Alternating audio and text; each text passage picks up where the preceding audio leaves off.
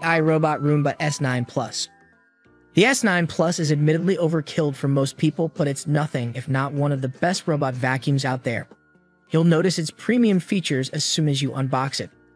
The S9 Plus is the biggest but also the most attractive robot vacuum with a corner-friendly design, copper accents, and a 1.5 foot tall clear base.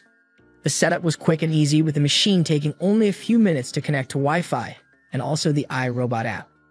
While the S9 Plus doesn't have the precision navigation feature, it has something called Careful Driver that uses a 3D sensor to detect and clean around objects.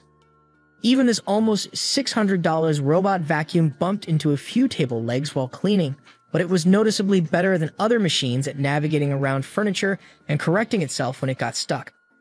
It also moves fast, so it was able to cover a bit more of an apartment before it had to return to the base for charging after about one hour of cleaning.